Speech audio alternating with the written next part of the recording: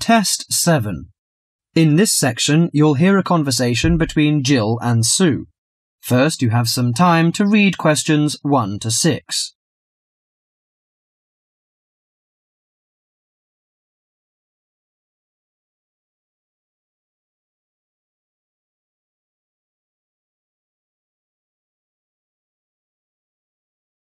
Now listen to the conversation and answer questions 1 to 6. Hello, Sue. Fancy meeting you here. It is Sue Johnson, isn't it? Oh, hi, Jill. It must be ages since we've seen each other. What a surprise. How are you? Yes, well, uh, I'm fine. I just got back from two years teaching in Hong Kong, actually. Oh, I thought you'd gone into computing or nursing. No, I ended up being a teacher after all. And how about you? Oh, fine. Things are going quite well, in fact. So, what have you been up to over the last three years? Working, studying, you know, the usual things. Oh, and I got married last year. Congratulations. Anyone I know? Yeah, you might remember him from our college days. Uh, do you remember Jerry? Jerry Fox? Jerry? Was he the one with the dark hair and beard? No, that was Sam. No, Jerry's got blonde hair and glasses. He's pretty tall. Well, we got married, finally. Great. And where did the wedding take place? Was it here in London? No, in the end, we decided to get married in Scotland. Jerry's parents lived there, so we were married in the small village church with the mountains in the background. Fabulous. Have you got any pictures? Well, funny you should ask. I have actually got a couple here. They're a bit battered because I've been carrying them around in my bag. oh, never mind. Let's have a look. Oh, don't you look wonderful? Who are those people behind you? Oh, that's my older sister, Clara. Oh, she looks like you. Do you think so? Everyone says that, but we can't see it. Is she married now? Yes, and she's got three children, a girl and twin boys as well. Wow, imagine having twins. Look, why don't we have dinner together and catch up on a few things? Would you like to come over one evening? Oh, that'd be lovely. What about next Friday evening? Fine. What time? Shall I come over about eight o'clock? Oh, come about half past seven. I'm usually home around six thirty, so that'd give me plenty of time to get dinner ready. Oh, fine. And um, one last thing. Where do you live? What's the address? Oh, good thinking. Here's my card. The address is on the back.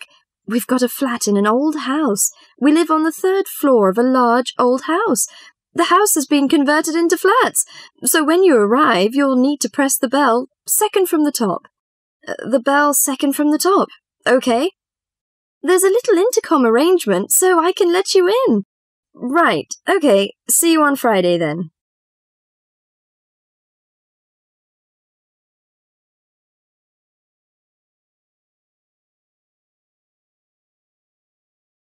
Before the rest of the conversation, you have some time to read questions 7 to 10.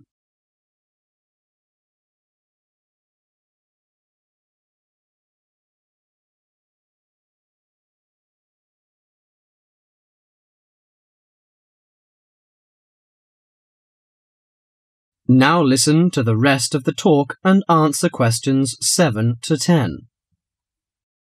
Welcome, Jill. This is my husband, Jerry. Jerry, this is Jill. Hi, Jill. Nice to meet you. Uh, hi, Jerry. Well, let's come in and take a seat. Sue told me that you've just returned from Hong Kong. Uh, was it a pleasant trip? What kind of city is it? Oh, well, Hong Kong enjoys a reputation for the flourishing business. It has a population of around 6.6 million. Much larger than that of Sydney, right? Sydney has a population of 4 million, I think. Yes, uh, did you enjoy staying there? Well, being a metropolis has advantages. You get the latest films and music. There's always something going on, and there's such a wide variety of different people and cultures that it's difficult to get bored. Of course, all this has its downside. The cost of living is very expensive, and most people cannot afford to go out very often.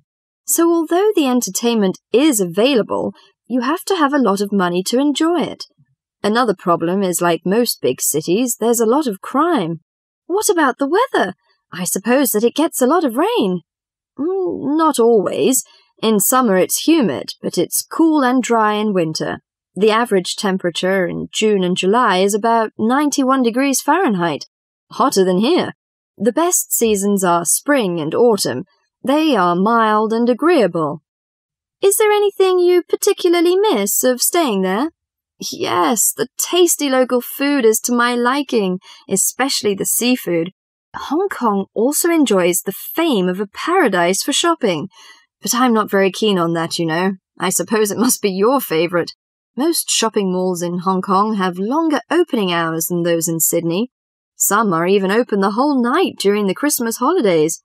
Oh, it sounds lovely. I hope I have a chance to travel there. When I can be your tour guide. Yes, that's great. That is the end of section one.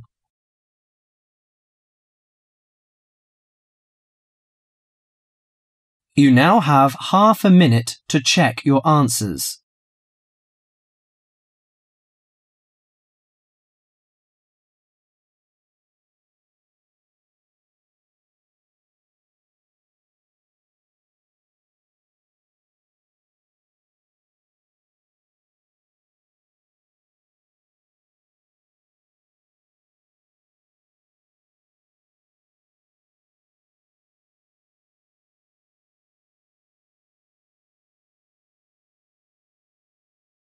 Section 2.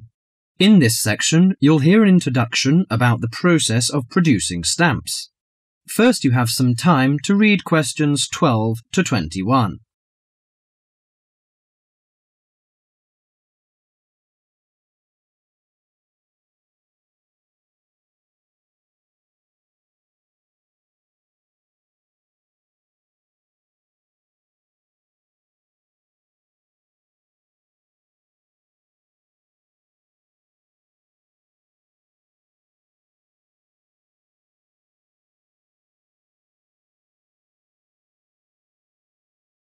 Now listen to the conversation and answer questions 12 to 21. Hello, and welcome to this week's edition of Tell Me More, the program where you ask the questions and we provide the answers. And we've had a wide variety of questions from you this week. And the subject we've picked for you this week, in response to your many letters, is the production of postage stamps. And as usual, we've been doing our homework on the subject. So, who designs the postage stamps that we stick on our letters? Well, in Australia, the design of postage is in the hands of Australia Post. In Britain, it's the Royal Mail that looks after stamps, and it seems that both countries have a similar approach to the production process. We discovered, to our surprise, that it can take up to two years to produce a new postage stamp. Why is that, I hear you ask?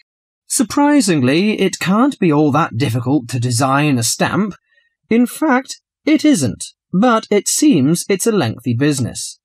Firstly, they have to choose the subjects, and this is done with the help of market research. Members of the general public, including families, are surveyed to find out what sorts of things they would like to see on their stamps. They are given a list of possible topics and asked to rank them. A list is then presented to the advisory committee, which meets about once a month. The committee is made up of outside designers, graphic artists, and stamp collectors. If the committee likes the list, it sends it up to the board of directors, which makes the final decision. Then they commission an artist. In Australia, artists are paid $1,500 for a stamp design and a further $800 if the committee actually decides to use the design so there's a possibility that a stamp might be designed, but still never actually go into circulation. So, what kind of topics are acceptable? Well, the most important thing is that they must be of national interest. And because a stamp needs to represent the country in some way, characters from books are popular, or you often find national animals and birds. So, of course, the kangaroo is a favourite in Australia. With the notable exception of members of the British royal family stamps, no living people ever appear on Australian or British stamps. Every year, the Royal Mail in Britain receives about 2,000 ideas for stamps, but very few of them are ever used. One favourite topic is kings and queens. For instance, King Henry VIII, famous for his six wives, has recently appeared on a British stamp together with a stamp featuring each of his wives. But despite the extensive research which is done before a stamp is produced, it seems it's hard to please everybody. And apparently all sorts of people write to the post office to say that they loved or hated a particular series. The stamp to cause the most concern ever in Australia was a picture of Father Christmas surfing at the beach. And when you consider that the practical function of a stamp is only as a receipt for postage, I think perhaps the importance accorded to stamps has got out of all proportion. Well, that's all for today. If there's a subject you want us to tell you more about, drop us a line at. That is the end of section two.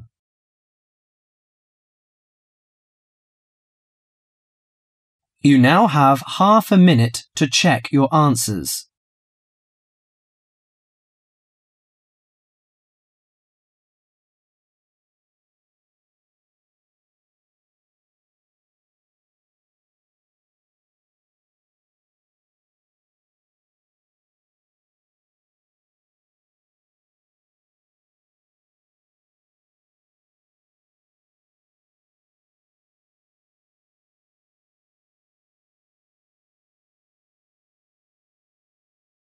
Section 3.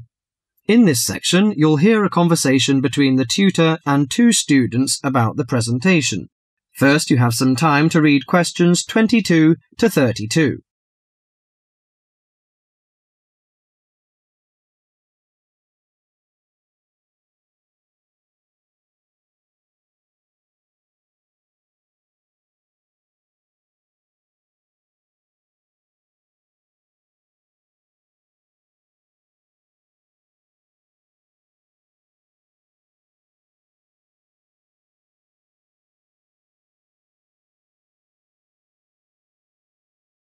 Now listen to the conversation and answer questions 22 to 32.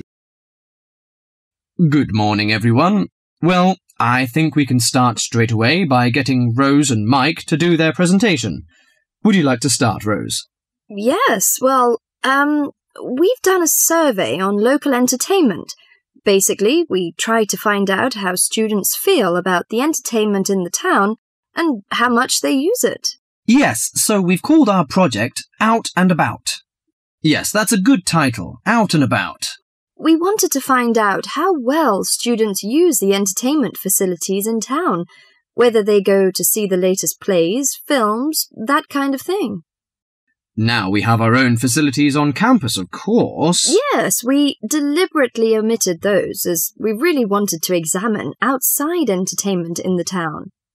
Actually, there were a lot of areas to choose from, but in the end we limited ourselves to looking at three general categories cinema, theatre, and music. Right. Okay, well, first of all, cinema. In the town, there are three main places where you can see films. There's the new multi screen complex cinema, the old park cinema, and the late night Odeon. So, if you look at this chart, in terms of audience size, the multi-screen complex accounts for 75% of all cinema seats. The Park Cinema accounts for 20% of seats, and the Late Night Odeon has just 5% of seats. As you probably know, the complex and the park show all the latest films, while the Late Night Odeon cinema tends to show cult films. So, when we interviewed the students, we thought the complex would be the most popular choice, but surprisingly, it was the late night Odeon. Yeah, and most students said that if they wanted to see a new film, they waited for it to show at the old park, because the complex is more expensive and further out of town, so you have to pay more to get there as well. Yes, and that adds to the cost, of course, and detracts the popularity, evidently. Well, next we looked at theatres. The results here were interesting because, as you know, there's a theatre on campus which is popular, but there's also the stage theatre in town, which is very old and architecturally beautiful, and there's the large modern theatre, the Ashtop, has recently been built. So you just looked at the two theatres in town? Yes. What was interesting is that there are periods during the year when students seem to go to the theatre and periods when they go to the cinema, and we really think that's to do with budget. If you look at this graph, you can see that there's a peak around November and December when they go to the theatre more, and then a period in April and May when neither is particularly popular, and the theatre viewing seems to fall off virtually, while the cinema becomes quite popular in June and July. Hmm, I think you're probably right about your conclusions. Well, lastly, we looked at music, and this time we were really investigating the sort of small music clubs that offer things like folk or specialize in local bands. So not musicals as such. Mm, that's right. We looked at three small music venues and we examined the quality of the entertainment and venue and gave a ranking for these. A cross, meaning that the quality was poor, a tick, meaning it was okay, and two ticks for excellent. First of all, the Blues Club, which obviously specializes in blues music. This was a pretty small place and the seating was minimal, so we didn't give that a very good rating. No, we don't recommend that one really. Then the Sunrise, which plays a lot of South American music, was a big place, very lively, good performers, so two ticks for that one. The Pier Hotel is a folk venue, a good place for local and up and coming folk artists to play. Not the best of venues, as it's in a basement and a bit dark, but the quality of the entertainment was reasonable, and the lighting was very warm, so we felt it deserved an average rating. Finally, there's the Bald Rock Cafe, which features big rock bands and is pretty popular with students, and we enjoyed ourselves there as well, so total marks for that one. And then did you get any information from the students as to which of the clubs they preferred? That is the end of section 3.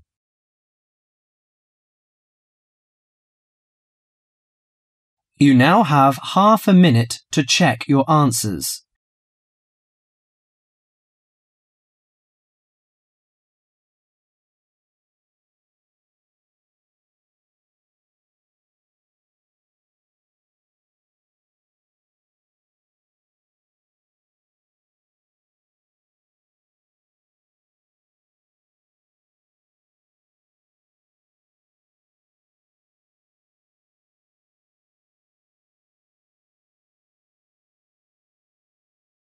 Section 4. In this section, you'll hear a lecture on amber.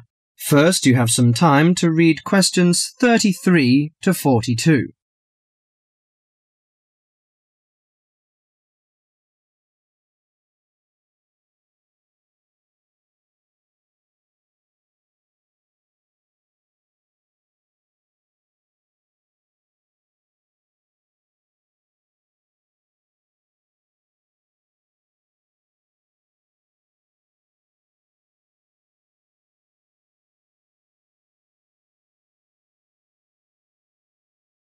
Now listen to the conversation and answer questions 33 to 42. Today, in our series of lectures on nature history, we're going to be looking at amber. Do you know amber? What is it? How is it formed? What are the uses of amber? Firstly, what is amber? Amber is fossilized resin from ancient forests. Amber is not produced from tree sap, but rather from plant resin. This aromatic resin can drip from trees, trapping debris such as seeds, leaves, feathers, and insects.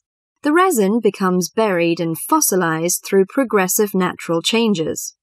Therefore, amber is formed as a result of the fossilization of resin that takes millions of years. Although a specific time interval has not been established for this process, the majority of amber is found approximately 30 to 90 million years ago. You may ask why resin is produced. Although there are contrasting views as to why resin is produced, It is a plant's protection mechanism. The resin may be produced to protect the tree from disease and injury caused by insects and fungi. Resin may be produced to heal a wound, such as a broken branch, and resins have odors or tastes that both attract and repel insects. Resin may also be produced as a plant's method to dispose excess acetate. We know that amber survives millions of years, but what type of depositional environment preserved amber? One depositional environment for amber is marginal marine. Amber's specific gravity is slightly over 1 and it floats in salt water. Therefore, amber becomes concentrated in marine deposits, moved some distance from the original site. Trees and resin may be transported and deposited in quiet water sediments. Wood and resin are buried under the sediment, and while the resin becomes amber, the wood becomes coal. Wet sediments of clay and sand preserve the resin well because they are devoid of oxygen. So, as a precious product of nature, what are the uses of amber? In ancient times, amber was used for medicine. Honey was mixed with powdered amber and prescribed for many chronics like asthma, gout, and the Black Plague. It was also used as precious decoration. The amber jewelry was thought to have the magic power against evil and dark forces. Sailors burned amber on ships to drive away sea monsters and the dangers of the deep. Amber has retained its beauty for millions of years, but if not preserved well, it may lose its charm. The softness and brittleness is likely to be attacked by chemicals and requires some special care in handling and storing, so do not put your amber jewelry on before hairspray and perfume is applied, because it will likely create a whitish coating on the amber that may be permanent. If you want to string the amber beads on silk or linen thread, remember to string them with knots between each bead to prevent mutual rubbing and chipping. Amber jewelry should not be stored where it can rub against metal or other jewelry, and storage in a soft cloth is best. Never put amber jewelry in a steam cleaner, which would shatter the gem. Never let amber come in contact with soaps or commercial jewelry cleaning solutions, which can dull the finish. Keep amber away from common kitchen substances such as salad oil, butter, and excessive heat of ovens and burners. Dust and sweat can be removed with clean, cool water and a soft cloth. Never use hot water. The amber can be dried and rubbed with clear olive oil, then rubbed with a soft cloth to remove excess oil and restore the polish. The last thing I'd like to mention is the storing of amber. Amber should not be placed near heating ducts or in direct sunshine, and avoid exposure to sudden changes of temperature. Well, that's all for Amber today. Hope you enjoy this precious product of nature and have the luck to own one. That is the end of section 4.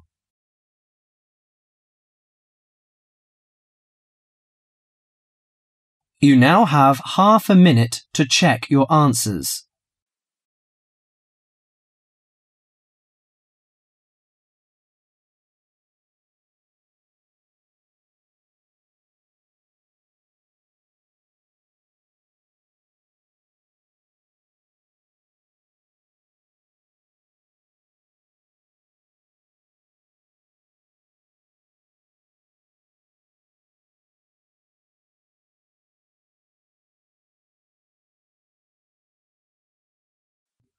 That is the end of the listening test.